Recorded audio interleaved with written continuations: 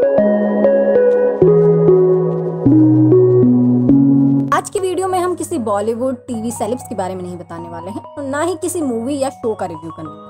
आज हम आपको बताने वाले हैं सोशल मीडिया के दो बड़े प्लेटफॉर्म्स पर चल रही जंग, यूट्यूबर वर्सेस टिकटॉक के बारे में। खैर, आपने कैरी मिनाटी का टिकटॉक को रिप्लाई तो देख ही लिया होगा। अब कैरी ने सही कहा या गलत, इससे ज़्यादा बात ये मायने रखती है कि उन्होंने उस काम को परफेक्टली किया जिसमें वो माहिर है। यानी कि रोस्टिंग। दरअसल टिकटॉक रोस्टेड वीडियोस यूट्यूब पर पहले भी बनते रहे हैं। लेकिन ये मुद्दा तब गरमाया जब रिवॉल्वर रानी के नाम से फ़ेमस टिकटॉकर ने यूट्यूबर्स पर इल्ज़ाम लगाया। इसके बाद एक और टिकटॉक स्टार आमिर सिद्दीकी ने वीडियो बनाकर यूट्यूबर्स के बारे में बोला, जिस पर एलविश यादव लक्ष्य चौधरी और अब कैरी मिनाटी ने रिप्लाई किया है। और कैरी का वीडियो सोशल मीडिया पर काफ़ी वायरल भी हो रहा है, क्योंकि जिन बातों को कई लोग कब से कहना चाहते थे, वो बात कैरी ने कह दी है। पहले जरा बात करते हैं कि आमिर सिद्दीकी ने ऐसा क्या कहा था कि ये मुद्दा इतना गर्मा गया। दरअसल आमिर ने इंस्टाग्राम पर अपना एक वीडियो अपलोड कर यूट्यूबर्स पर इल्ज़ाम लगाया था कि वो टिकटॉकर्स की रिस्पेक्ट नहीं करते हैं। उनके कंटेंट को क्रिंच बोलते हैं। टिकटॉकर्स यूट्यूबर्स से ज़्यादा फ़ेमस है, वहाँ ज़्यादा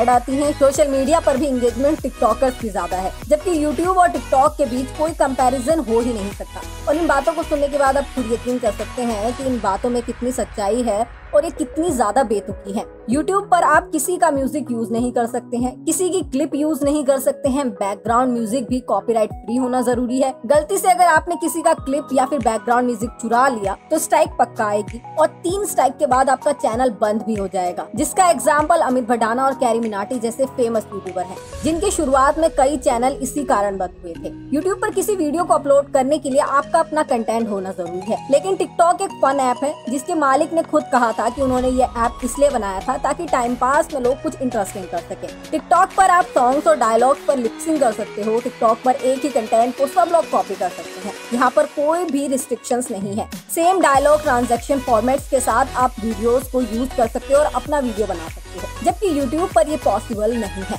हालाँकि हमने टिकटॉक पर भी कई मज़ेदार कंटेंट देखे हैं, लेकिन उन क्रिएटर्स की वीडियोस पर ना तो लाइक है और ना ही उनके ज़्यादा फॉलोअर्स हैं, जबकि उनके कंटेंट को चुराकर ही कई फ़ेमस टिकटॉकर्स और ज़्यादा फ़ेमस होते जा रहे हैं। यानी देखा जाए तो यूट्यूब पर अगर कोई फ़ेमस हो रहा है तो वो अपने कंटेंट की वजह से फ़ेमस हो रहा है, क्योंकि यूट्यूब ये आपको सिक्योरिटी देता है कि आपका कंटेंट कोई चोरी नहीं कर पाएगा, जबकि टिकटॉक पर ये सिक्योरिटी नहीं मिलती है, क्योंकि टिकटॉक खुद एक फन ऐप है जहाँ पर सिर्फ़ लोग टाइम पास के लिए वीडियोस बनाते हैं। खैर, आपको हमारे इस वीडियो से समझ आ गया होगा कि यूट्यूब और टिकटॉक में क्या फ़र्क है। लेकिन आप भी हमें कमेंट करके बता सकते हैं कि आपको यूट्यूब और टिकटॉक में से कौन सा ऐप ज़्यादा पसंद है। साथ ही आप कमेंट करके हमें ये भी बताएँ कि कैरी मिनाटी और आमिर सिद्दीकी में से आप किसे सपोर्ट कर रहे हैं और आपके अनुसार कौन सही है। तो ये था टिकटॉक वर्सेस यूट्यूब पर हमारा वीडियो। आपको हमारा वीडियो कैसा लगा कमेंट करके में ज़रूर बताएँ। अगर आपने हमारे चैनल क्रिस इंडिया को अभी तक सब्सक्राइब नहीं किया है तो अभी हमारे चैनल को सब्सक्राइब करें। लेटेस्ट अपडेट्स के लिए ट्विटर फेसबुक और इंस्टाग्राम पर फॉलो करना ना भूलें।